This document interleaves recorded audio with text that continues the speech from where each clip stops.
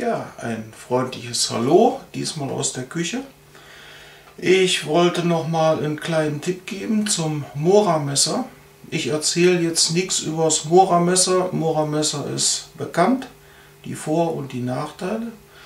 Ich muss sagen, ich habe zuerst äh, auch nicht viel von dem Mora-Messer gehalten, aber dann habe ich mir das im Baumarkt mal angeguckt und für einen Fünfer habe ich es einfach mal mitgenommen. Ja, ich habe es wirklich für 5 Euro bekommen. Und die Carbonklinge, die kriegt man also wirklich ratzescharf.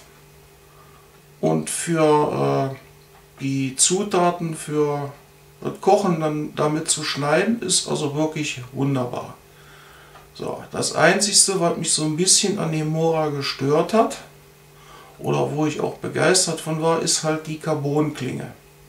So, die Carbonklinge, Vorteil, ich kriege sie wunderbar scharf und ich kann zur Not damit auch noch Funken schlagen mit dem Feuerstein. Nur die Carbonklinge hm, rostet halt gerne.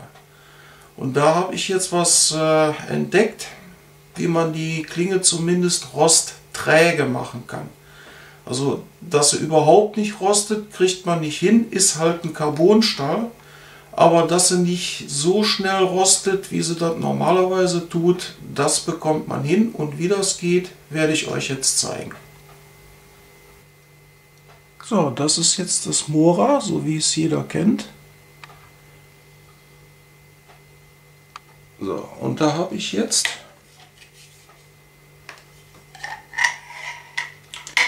Klinge brüniert. So, brünieren, das geht ganz einfach. Ja, Moment. Sieht man das? Ja, ich denke mal, das sieht man. So, die ist schwarz. Brünierung, das ist äh, ein Schutz für Metall, was ganz einfaches. Es ist eine Oberflächenbehandlung. Äh, wie es genau funktioniert, weiß ich nicht, aber äh, eine Brünierung äh, geht mit dem äh, Metall eine Verbindung ein und ich vermute mal, äh, die Brünierung bildet mit dem Metall eine Oxidschicht, die das Metall vor Rost schützt. So, und Flüssigbrünierung, das ist ja, 50 Milliliter. So ein Döschen. Habe ich mir im Internet bestellt. Kostet, ich glaube, 10 oder 12 Euro. Wer es nicht im Internet bestellen möchte, wird mit Sicherheit auch fündig werden bei einem Büchsenmacher. Aber ich gehe mal davon aus, da beim Büchsenmacher ist es etwas teurer. Gut, aber man kann es natürlich direkt mitnehmen. Das hier ist Brünierung von dem Hersteller, der das ganz bekannte Waffenöl herstellt. Ich nenne den Namen jetzt nicht.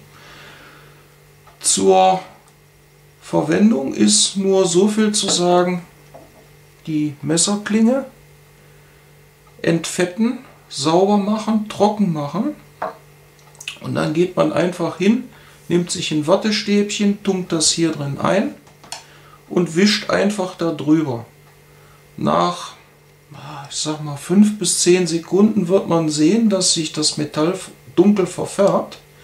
Und je nachdem, wie lange man jetzt die Brünierung da drauf lässt und einwirken lässt, desto dunkler wird das Ganze. So, und nachher wird es dann einfach äh, mit Wasser abgespült, abgetrocknet und das war's. So, die genaue äh, Anleitung, wie man es verwendet, steht hinten auf dem Fläschchen drauf. Und ich habe mit dem Teil hier Tomaten geschnitten, habe dann wirklich nur einmal drüber gewischt, habe es nicht eingeölt und auch nicht äh, abgewaschen. Und die Brünierung hält. Also ich bin damit sehr zufrieden. Versucht selber mal. Das ist also nicht nur hier für ein Mora zu machen, äh, auch alles andere, was so brüniert geliefert worden ist, äh, kann man damit wieder auffrischen. das war's von mir. Ich hoffe, ich konnte euch einen kleinen Tipp geben und viel Spaß beim Nachmachen.